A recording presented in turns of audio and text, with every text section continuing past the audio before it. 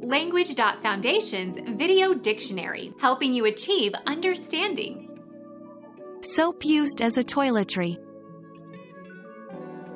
Bath soap, face soap. Become our student and get access to effective and free educational materials. Subscribe to our channel to become a part of our growing community and to learn English effectively.